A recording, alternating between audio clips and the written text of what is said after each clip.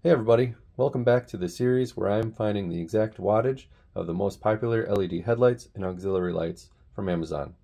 Uh, if you're unfamiliar with what I'm doing here, I would highly recommend watching my introduction video where I go over what I intend on doing in this series of videos. Alright, let's get to it. So the LED headlights we are reviewing today are the BeamTech LED headlights. Um, these particular lights I have actually had installed on my vehicle for three years now, and they have been great. I've never had any issue with them. Um, however, I feel like they are a little bit outdated. Um, I feel like the technology has come a little bit farther now, so these aren't as bright as other headlights. Um, they are nice. They don't have a fan. Um, it's all built-in driver, and they just have this nice aluminum body.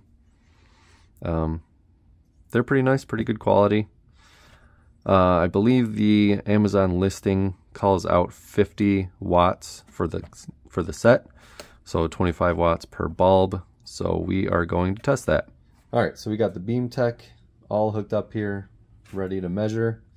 So last thing left to do is turn it on.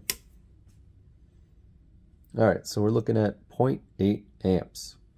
So 13.8 volts times 0.8 amps is roughly 11 watts. So BeamTech is claiming that each bulb puts out 25 watts. In reality, it only puts out 11. So that's not even half of what the manufacturer is claiming. So BeamTech, it's a great light, but it does not live up to what the manufacturer is claiming.